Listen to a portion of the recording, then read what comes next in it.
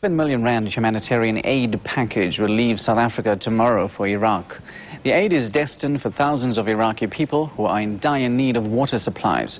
And while the help may be a blessing for many Iraqis, in South Africa, some Iraqis are still uncertain about whether their families survived the war. She's worried about her family.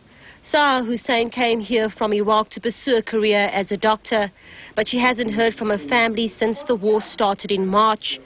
Hussein's four family members live a few kilometers from the Saddam International Airport in Yarmouk district.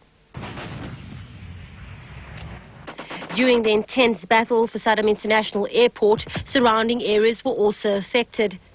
I'm worried about him, worried about his family, and I don't know how is he's managing uh, with his uh, ordinary daily life. Hussein's now asked this man to find the family, but he has his hands full. Many want him to find their loved ones or help them with aid. Milk powder and water purification tablets are an integral part of the aid package. All the sewage is in the water, there's no proper supply, there's no proper electricity.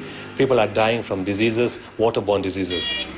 The Gift of the Givers Foundation in November last year tried to provide goods such as medical supplies, but they were restricted due to the embargo on Iraq.